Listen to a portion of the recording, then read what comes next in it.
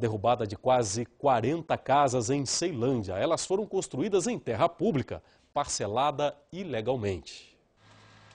Foram cinco meses de negociação até a derrubada. 39 casas construídas ilegalmente nesta área ao lado do condomínio Sol Nascente em Ceilândia foram demolidas. 250 pessoas, entre policiais, bombeiros, agentes da GFIS, Sudesa e Conselho Tutelar, participaram da ação. Que é uma área destinada para o programa Pro Moradia 2, que é um programa de incentivo do governo federal. E aí essas pessoas foram notificadas no início de março entraram com seus processos administrativos, foram julgados, foram perdidos. O terreno era uma chácara em terra pública e antes de morrer a poceira teria fracionado sem autorização. Cada um, segundo a Sudesa, foi vendido entre 10 e 15 mil reais.